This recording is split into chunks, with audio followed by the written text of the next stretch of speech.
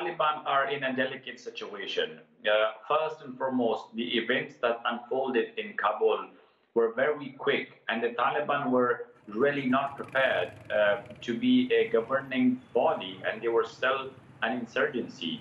And once they took over Kabul, uh, what mattered for them was their internal integrity and cohesiveness, and also the threat of Daesh as a rising uh, challenge for the Taliban uh, is also a fundamental point because the Taliban could not uh, provoke their hardliners.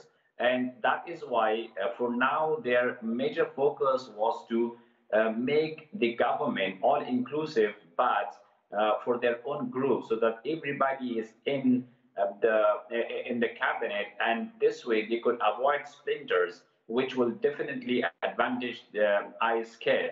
That is why they have to ignore the international calls for a uh, trans group or or uh, uh, or including other groups which were not part, part of the Taliban.